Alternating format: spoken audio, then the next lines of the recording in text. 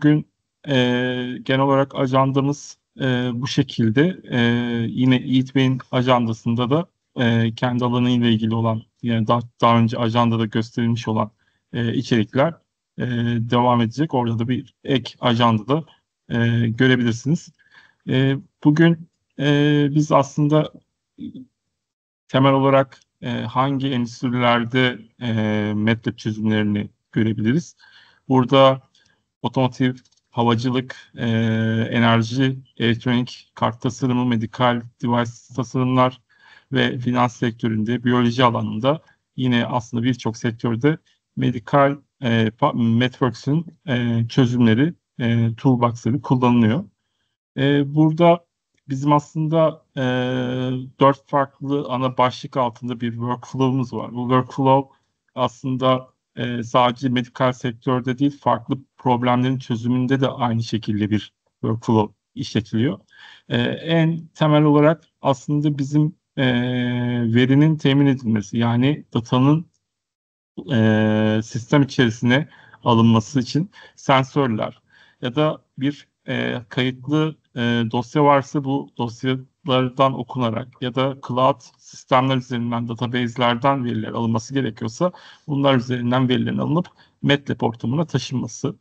Daha sonra analiz edilmesi. Tabii verilerin hepsi e, bizim için faydalı olmayabilir. Bunlar içerisinde gürültüler olabilir ya da anormal veriler olabilir. Bunların bir preprocessing aşamasından geçilmesi gerekiyor. Bu veri olarak da düşünebilirsiniz. Yani veri tabanlı bir preprocessing de düşünebilirsiniz ya da işaret bazlı ya da görüntü bazlı bir preprocessing işlemi de düşünebilirsiniz. Bunların hepsini aslında data analiz tarafında yapmak mümkün. Development tarafında tabii e, AI ile birlikte e, bazı işlemler ya da bazı algoritmalar otomatik hale getirilebiliyor. Bunların e, bu burada modellerinin oluşturulması, tasarımının yapılması e, ve daha sonra eğer Simulink ortamında çalışıyorsanız bu modellerin yine simülasyon ortamında modellemenizi e, farklı bir ortama taşımadan yine aynı ortamda test etmenizi sağlayıp daha sonra eğer nihai olarak bir uygulama çalıştığını düşünüyorsanız yani burada bir development sürecini tamamladığını düşünüyorsanız bunları e, bir son kullanıcıya e, desktop uygulaması halinde ya da bir sunucu üzerinde bunu kullanıcılara aktarabileceğiniz ya da bir e, gömülü sistem üzerine yani bir telefon içerisinde bu uygulamayı gömebilmeniz için e, farklı e, kod Larso Code Generation teknikleriyle de bunlar mümkün hale geliyor. Bunlarla ilgili detaylar da ara ara aslında slaytların içerisinde gösterilecek. Daha sonra bunlarla ilgili detaylı bilgi de talep ederseniz zaten e, bizler sizlere yardımcı olacağız. E, yapay zeka tarafında böyle kısaca bir tanımlama da yapmak gerekirse e, yapay zeka aslında genel anlamda bizim e, bu e, derin öğrenme, makine öğrenmesi gibi kavramları e, kapsayan bir yapısı var. Makine öğrenmesi e, tabii e, bu kavramların ilk başında ilk e, karşılaştığımız e, verilerden bir e, taskı, bir e, yapıyı öğrenebilmek için tasarlanmış algoritmalar, modeller.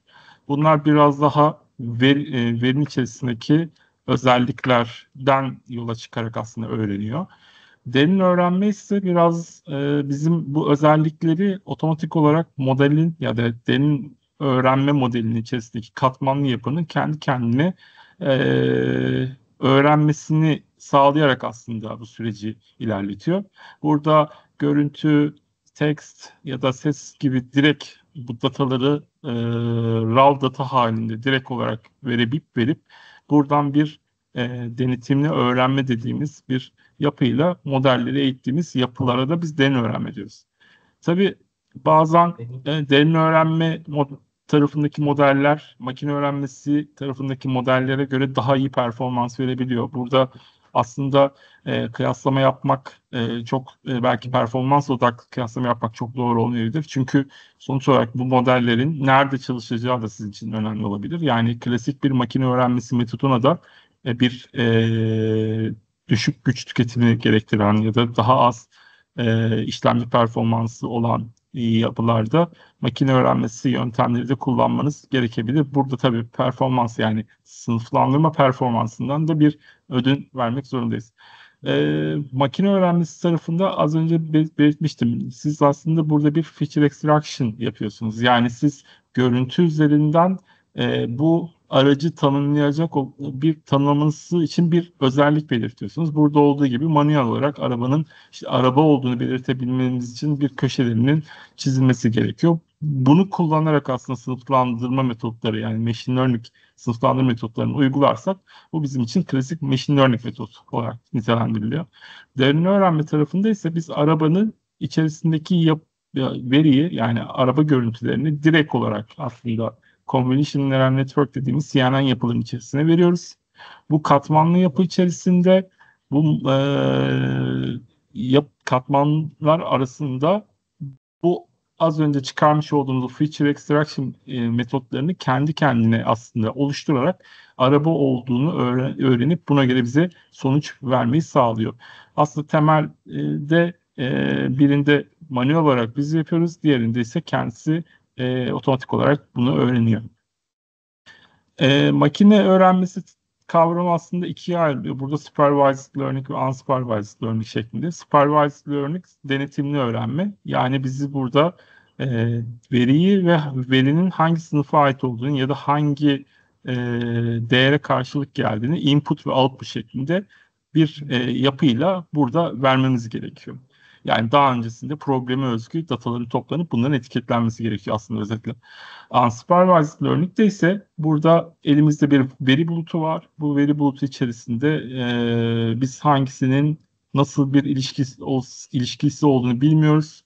Bunları aslında kendi içerisinde clusterlara bölerek biz bunları e, bunlar hakkında bilgi edinmeye çalışıyoruz. Bu biraz daha e, reklam e, sektöründe yani işte kullanıcı kategorilerinin ayrılması veya hangi kategorilere göre reklam çıkılacağını belirleyebilmek adına bu şekilde e, kat, bizim denetimsiz öğrenmeye karşılık gelen clustering metotları da kullanabiliriz.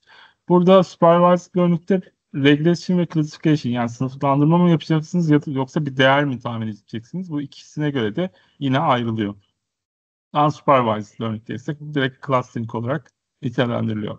Bizim AI ML workflow tarafında e, burada az önce de belirtmiş olduğumuz belki burada bir simülasyon tarafı eksik kalmış olabilir ama eğer bir e, basit bir şekilde bir uygulama geliştireceksiniz, medikal sektörde de aynı şekilde e, bir uygulama geliştireceksiniz. Bunları bu şekilde bir iterasyonda aslında sürekli yenilemeniz gerekiyor. Çünkü modelleri sürekli yeni verilerle güncellemeniz gerekecek. Bunun süreçte tekrarlanabilir olması önemli. E, MATLAB tarafında aslında çok fazla doküman var, örnekler de var. Kullanıcıların hazır kullanabileceği ya da kendi projelerine çok rahat bir şekilde adapte edebileceği fonksiyonlar mevcut. Bunlar da yine e, uygulama mühendisleri yani Networks'ın kendi uygulama mühendislerinin geliştirdiği ya da e, open source e, kullanıcıların geliştirdiği yine uygulamalar var. Bunları e, buradan elde edebilirsiniz. Bunun dışında algoritmaları hızlıca e, kullanabileceğiniz app'ler mevcut. Bu app'lerde e, yani kodlama bilmeden aslında bu app'ler üzerinde belirli algoritmaları ya da e, parametreleri test edebileceğiniz e, registration estimator e, ya da e, color thresholder gibi e, bu şekilde farklı e, app'ler var. Bunların dışında tabii işte görüntüleri etiketleyebilmeniz için ya da videoları etiketleyebilmeniz için de yine image labeler, video labeler gibi görüntü etiketleme tool app'leri de mevcut. Ee, az önce bahsetmiştim Code Generation tarafında da tabii güçlü olduğu tarafta bu. Ee, buradaki yaptığınız uygulamaları farklı dillerde gömülü sistemlere aktarabilmekte e, mümkün hale geliyor. E, medikal görüntüler e, burada tabii medikal görüntü dediğimizde belki MR görüntüsü aklımıza gelebilir ama burada işte mikroskobik görüntüler yani büyük görüntüler de analizi yapılması gerekebilir. Bunun için e, yine e, image processing ve computer vision tarafındaki e, tool'lar kullanılarak, app'ler kullanılarak buradan hızlıca e, sonuçları e, deneyip ona göre bir kendiniz aslında bu app'ler üzerinden belirli parametreleri test ederek yapmış olduğunuz o parametreleri de burada fonksiyon haline getirerek e, kendi sisteminiz içerisinde kullanmanızı da sağlıyor olur. E, buradaki örnek mesela bir doku üstündeki e, detek e, etkilenmiş olan e, bölgeleri e, belirlemeye yönelik bir uygulama. E, bu görüntüler üzerinde buradaki image browser üzerinde işte farklı image processing yöntemleri kullanılarak işte color thresholder olsun ya da image segmenter olsun bunların bunlar gibi aslında farklı e, yöntemleri uygulayarak biz belirli görüntüler üzerinde bunları e, tespit edip edemediğimizi burada anlık olarak görebilip görüp ondan sonra export seçeneği de bu yapmış olduğumuz buradaki e, parametreleri de e, hiç değişmeden direkt kod halinde alıp diğer uygulama diğer görüntü setlerini de aynı şekilde uygulamamızı sağlıyor oluyor. E, burada e, basit olarak prototip app üzerinden aslında geliştiriliyor. Az önce bahsetmiş olduğumuz gibi. Sonra otomatik MATLAB koduna generate ediliyor. Burada görmüş olduğunuz gibi fonksiyon halinde direkt size full kodu e, döküyor. E, ve daha sonra bunları isterseniz işte farklı e, algoritmalarla değiştirip e, birleştirerek fonksiyonu e, daha kendinize özgü custom bir hale de getirebilirsiniz. Sonrasında batch, image batch e, prosesörle de isterseniz farklı görüntüleri de bu fonksiyonları da burada e, implement edebilirsiniz. E, görüntü segmentasyonu ya da işte görüntünün e, içerisindeki e, bazı bölgelerin derin öğrenme metotlarıyla e, heatmaplerinin gösterilmesi gibi aslında mikroskobik ya da patolojik görüntüler üzerinde dijital olarak aslında analiz işlem yapabilirsiniz.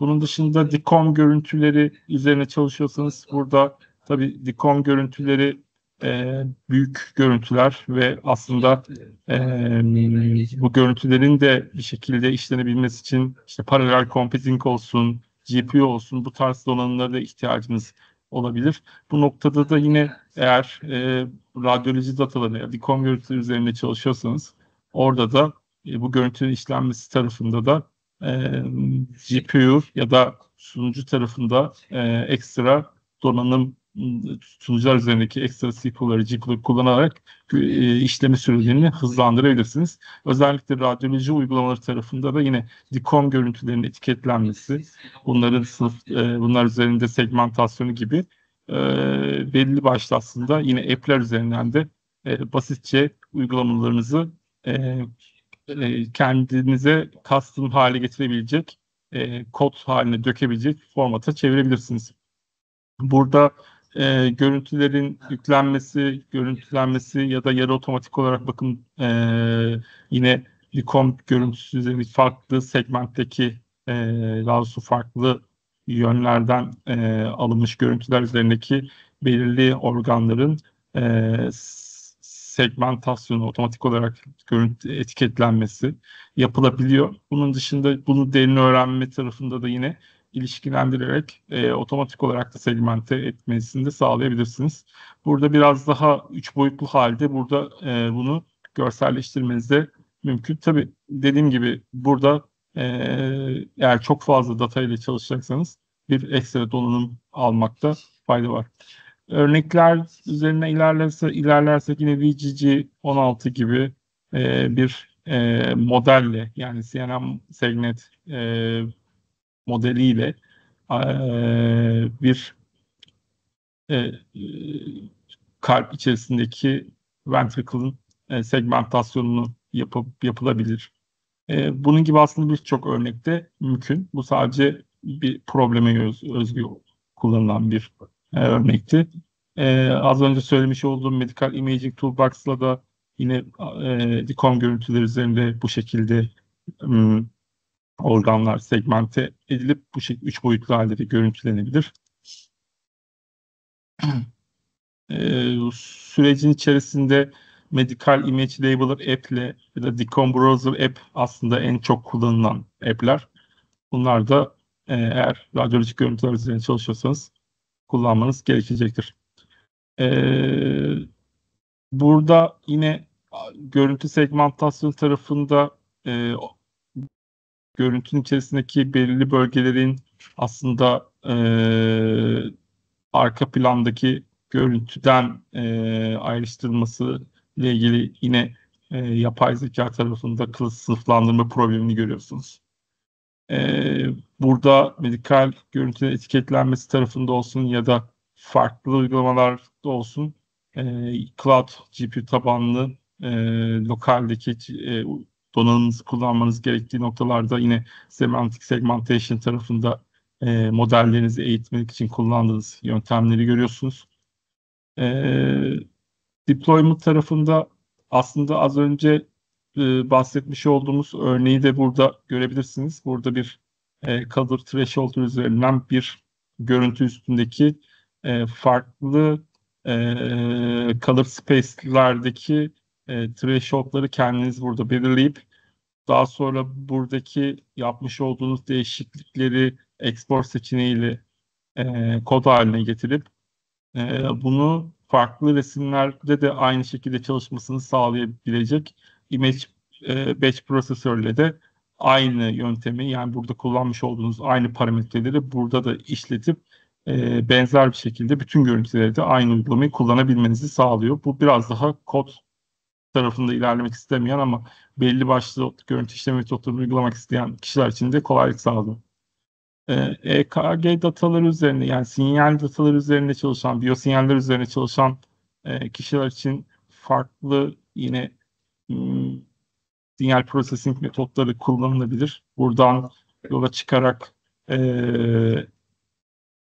feature'lar oluşturulabilir.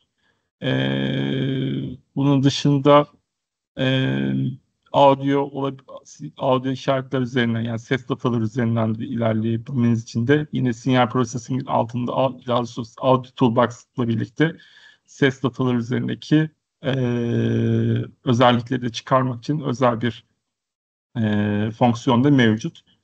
E, tarafta zaten kullandığınız e, belli başlı metotlar varsa e, metlerin içerisindeki fonksiyonlar içerisinde bu parametreleri e, ayarlayarak kullanmanız mümkün. E, bunun dışında tabii e, biz görüntülerin etiketlenmesi, video görüntülerin etiketlenmesi ya da daha doğrusu medikal görüntülerin etiketlenmesi konularına bahsettik ama e, işin biraz da biyosinyaller üzerindeki işaretler üzerine ilerletmek istiyorsak yani bir EEG datası ya da bir EMG datası, EKG datası üzerinde bir problem üzerine çalışıyorsak burada datanın gel yani daha doğrusu eğer spesifik bir konuda çalışıyorsak gerçek datayı elde etmek, onları etiketlemek önemli bir hal alıyor. Burada e, sinyal labeling tarafında e, yine bir app kullanmanız mümkün. EKG datası örneğini burada görebiliyorsunuz. EKG datasını sinyalini daha doğrusu buraya import ettikten sonra e, işaret buradaki e, kursör üzerinden e, ilgili sizin için önemli olan noktaları alıp etiketleyerek aslında e, kendi custom datanızı da oluşturabilirsiniz. Çünkü etiket veri etiketleme tarafında kararlı bir uygulama bulmak özellikle belki görüntü işleme tarafında görüntü üzerine belki e, open source e, görüntü etiketleme tool'ları olabilir ama kararlı çalışabilecek görüntü işlemede de yine sinyal e, processing'de de kullanmanız gereken e, sinyal etiketleme tarafında e, kullanabileceğiniz bir uygulama çok mevcut değil. On, ondan dolayı da kendi e, problemi ya da ile ilgili bir verisi olmayan, datası, etiketli datası olmayan ama bunları oluşturmak isteyen kişiler için de faydalı bir app diye düşünüyorum. Ee, yine bunun dışında derin öğrenme tarafında uygulamanızı e, ilerletmek istiyorsanız e, Deep Network Designer üzerinden kendi e, katmanlı yapınızı burada gösterildiği gibi e, kurup e, bunu probleminiz üzerinde uygulayabilirsiniz. Genellikle literatürde olan aslında çoğu metodu, e, deep learning metodunu bunun içerisinde e, kullanmanız mümkün. Ya da işte farklı frameworklerdeki modellerinizi de ONNX formatında e, buradaki e, MATLAB ortamında import edip oradaki yapıyı da burada kullanmanız mümkün. Bunun için de aslında Deep Network Designer app'i bizim için önemli bir uygulama. Ee, şöyle bir e, şunu göstereyim. Deep Network Designer tarafındaki app'imizin arayüzü bu şekilde. Sol tarafta bir kütüphane e, layer library dediğimiz bir alan var. Buradan e, inputlar, combination and fully connected tarafındaki işte kendi e, problemimize özgü katmanlar varsa bunları ekleyip daha sonra işte, ya da e, zaman serisi datalar üzerinde çalışıyorsanız LSTM layer'lar, bir LSTM layer'lar gibi farklı sequence e, katmanlı yapılar kullanarak, kullanarak buraya da ekleyip e, kendi yapınızı oluşturabilirsiniz. E, tabii buradaki yapıyı e, MATLAB file dosyasına dönüştürerek yani kod base bir e, uygulamaya ile ilerletmek istiyorsanız da buradaki yapmış olduğunuz bütün her şeyi e, bir MATLAB script halinde de kullanabilirsiniz. E, daha önce eğitilmiş literatürde bilinen yani burada ResNet, GoogleNet gibi mobil mobilnet gibi aslında literatürde bilinen bazı hazır katmanlı yapılar var. E, bunlar pre-trained network'ler olarak nitelendiriliyor. E, Deep Network Designer app'ini açtığınızda sizden eğer daha önce kullanmış olduğunuz bir hazır e, yapı varsa bunu da buradan import ederek e, yine entegrasyon, entegrasyonu sağlayabiliyorsunuz. E, kullanıcı örnekleri tarafında e, derin öğrenme ve e, wavelet kullanılarak yine beyin sinyallerinin e, dönüş işaret beyin işaretlerinin bir e, yazıya dönüştürülmesiyle ilgili bir örnek var. Bu biraz akademik e, tarafta aslında yapılmış bir uygulama diyebiliyorum. Onun dışında e, EKG datasının üzerinden e, yine MATLAB tool'ları kullanarak ürün geliştiren Viva Quant firması.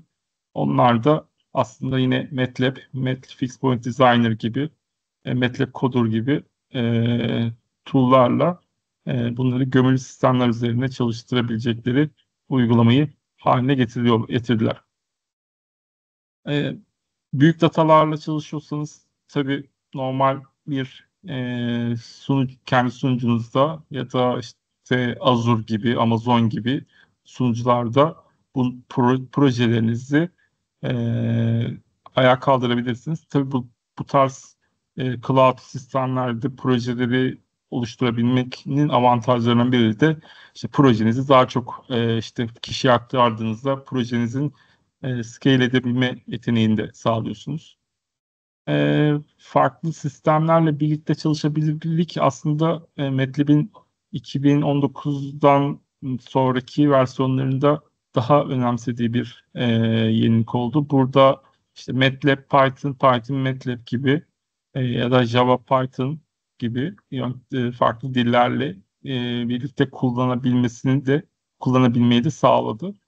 E, tabii C, C++ gibi diller dilleri de MATLAB'den direkt olarak e, çevirebildiğiniz e, çevirebildiğimiz için bu tarafı da zaten e, kullanabiliyoruz. Burayı biraz söyleyeyim önce bahsetmiştim. E, farklı frameworkler üzerinden ONNX formatında MATLAB ortamına e, modellerinizi çekip kullanabilirsiniz. E, MATLAB'in aslında dağıtım e, stratejisinde MATLAB Coder, MATLAB Compiler ve MATLAB Compiler SDK şeklinde üç farklı e, yapısı var. MATLAB Coder tarafı biraz em, daha embedded sistemler üzerinde e, C, C++, HDL, PLC ya da CUDA dilinde çevirmek için kullanılan bir e, yapı. MATLAB Compiler ise biraz daha aslında MATLAB web e, app serverlarda ya da e, e bir uygulama exe, executable dosyalar haline getirip bunları kullanıcılara sunabileceğiniz ya da bunları farklı dillerde bir e, kütüphane olarak DLL dosyası olarak yükleyebilmeniz için Compiler SDK gibi e, uygulamalar kullanılabilir. E, bunun dışında yine Simulink ortamına da e, burada Simulink Compiler kullanarak da geçilebilir.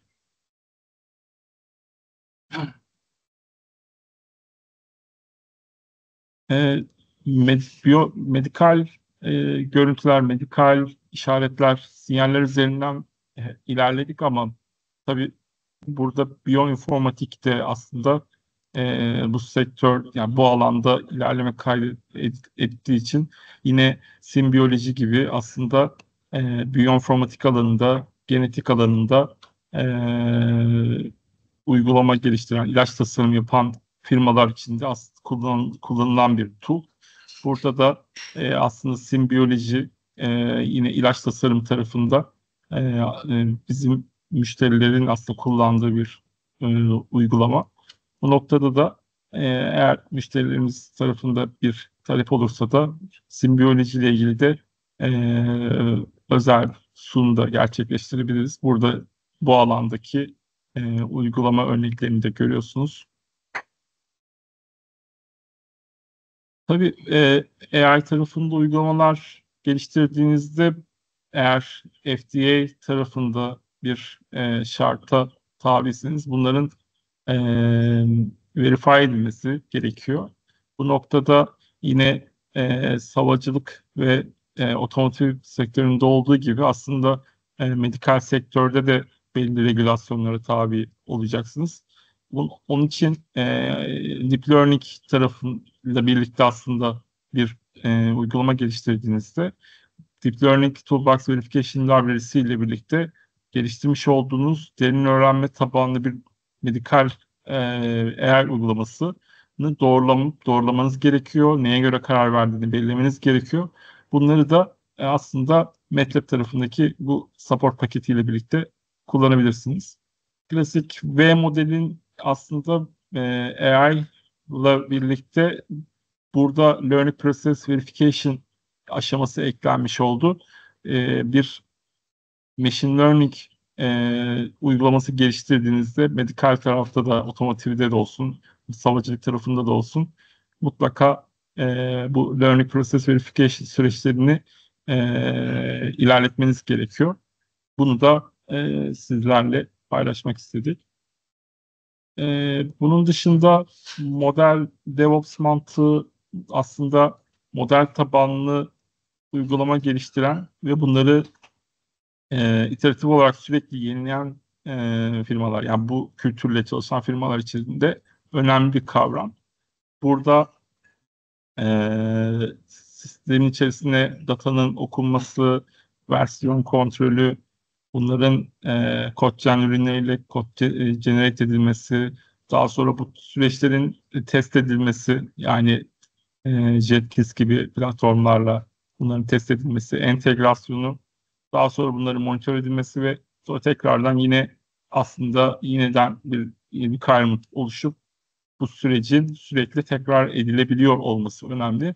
MATLAB bu tarafta aslında size model tabanlı DevOps e, kültüründe kendi projenizde e, geliştirme imkanı da sağlıyor. E, benim e, sunumum bu kadardı. E, ben şimdi sözü Yiğit Bey'e bırakıyorum.